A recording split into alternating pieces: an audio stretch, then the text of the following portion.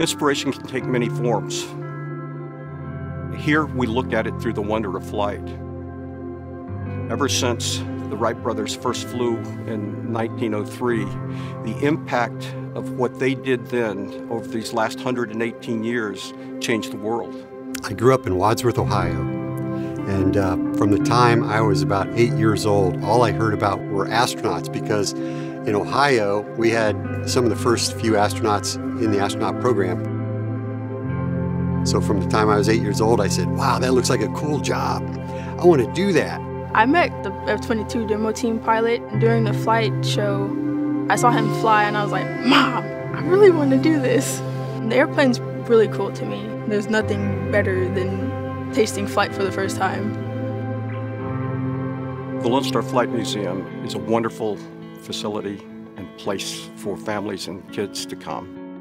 The mission of the museum is to celebrate flight and achievements in Texas aviation history and to educate and engage our youth through science, technology, engineering, and math, STEM. Being able to learn how flight actually comes into play.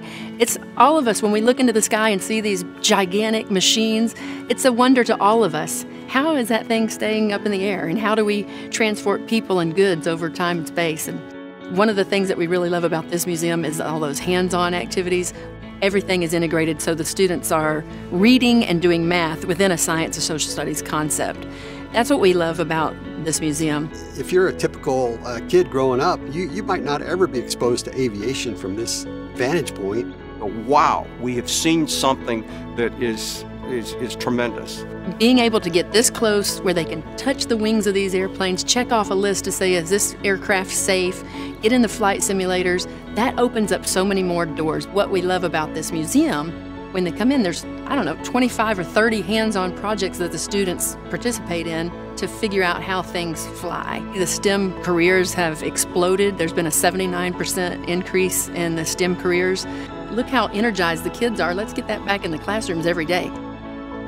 We believe that aviation inspires achievement and endless possibilities, and it's that belief that drives our mission and our desire to be a destination experience of choice as we go off into the future.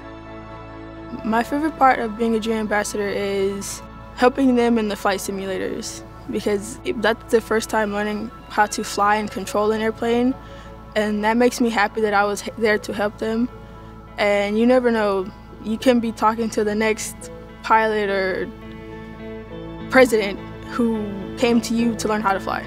You can't be what you can't see. And when they get here, they see it. And yes, their eyes are opened up, but their mind is opened up. And that's what's magical. They're right up close. They're within feet of an airplane. And they can see what it looks like. They can see the engine, they can see the intakes, they can see the propellers and the control surfaces.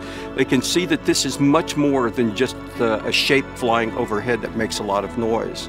And for many, that's enough to excite the senses that there's something out there that can, uh, can inspire them to do greater things.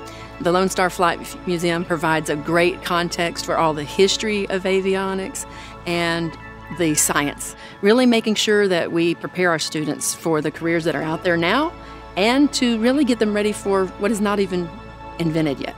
For students to come over here, get a, a look at all the educational opportunities that Lone Star Flight Museum has that, at its fingertips, I think it's just terrific. But our students, when they get to see something like this and their minds are opened up, they change how they will contribute to society.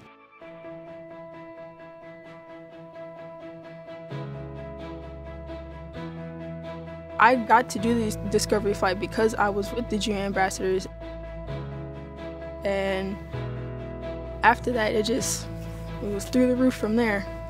Like I was like, I gotta fly, I gotta fly, I have to do this, I have to fly.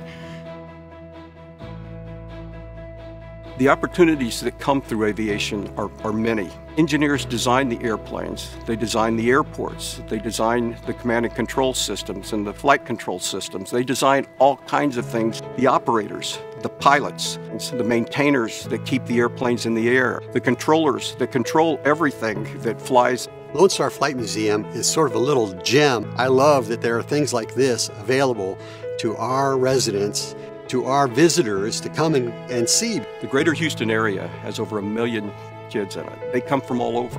in large part, they are a majority, minority, underserved, and underrepresented group of kids. We want to make sure that all of them have the opportunity to come and visit with us, see what it is that's here, to be up close to these airplanes, and realize that there is something else out there beyond what they see on an everyday basis. After I graduate from college with my bachelor's degree in architecture, I was going to join the Air Force.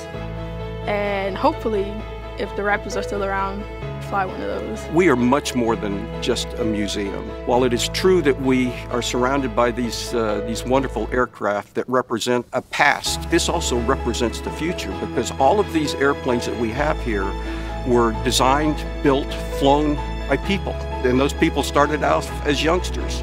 When we allow our students to participate, again, the sky is the limit and it awakens them to so many possibilities for their own life. And that's amazing. I honestly didn't know anything about flight before this.